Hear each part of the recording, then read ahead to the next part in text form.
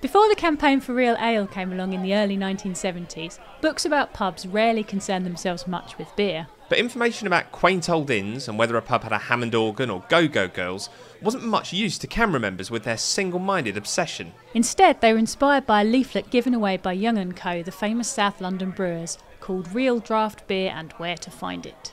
It listed all of Young's pubs, and those who drank a pint in every one became members of the 135 Association, which had its own club tie and other perks.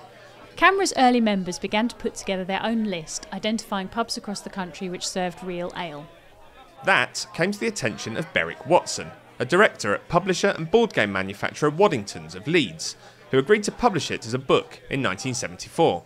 It was called the Good Beer Guide because it put beer above every other concern. A pub's inclusion didn't mean that it was historic or friendly, only that it sold cask conditioned beer. 40 years on, its annual publication remains a major event in the Beer Geek calendar.